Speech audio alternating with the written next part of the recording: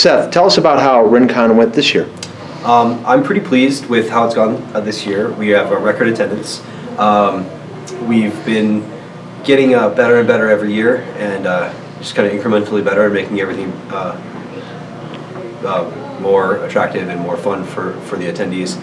Um, we've got more events this year with bigger prize pools. We've got uh, a giant-sized homemade Settlers of Catan board that they're playing right now in the, in the lobby. Uh, giant-sized Icehouse pieces that are being used to play Zendo and, and things like that.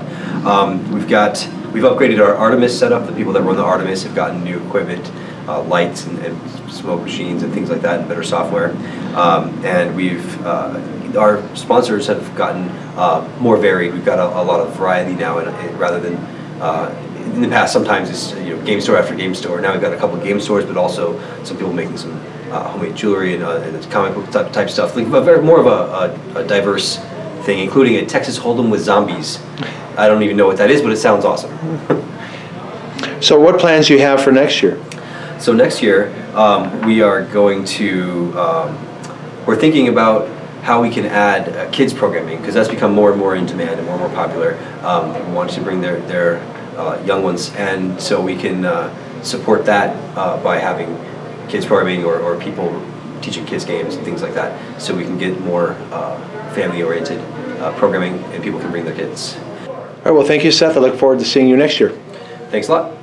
This is when you set it up, you can choose which side you want it to be so there's actually three different versions of the Princess. So when you flip over this one, it's completely different. Are you sure that if you have a purple cube on the city, you don't put another purple cube?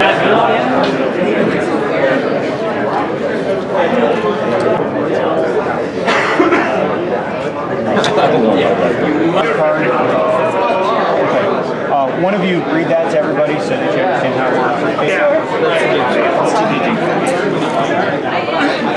Did you just get here? You've been here for a while.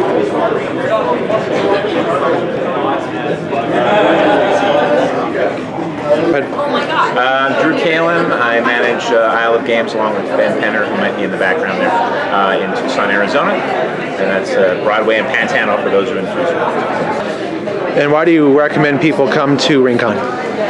Uh, Rincon is good for the, the Southwest. There isn't a whole lot of other uh, gaming conventions like this around, uh, at least not in this part. It's very low key, it's very comfortable, which is nice. You don't feel like you're crowded into any place or overdoing anything.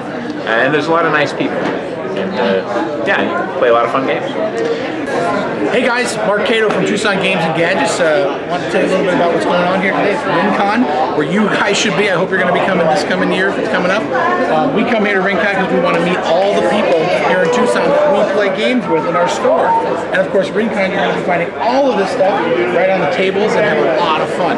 It's amazing. I hope you're here. I hope we're going to see you soon. So where can people go when they're not at Rincon to play games? Come on down to Tucson Games and Gadgets, 2900 East Broadway. You won't be disappointed.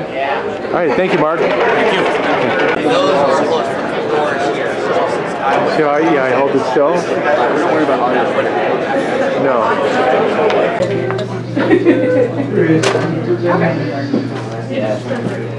So it's a lot of change here.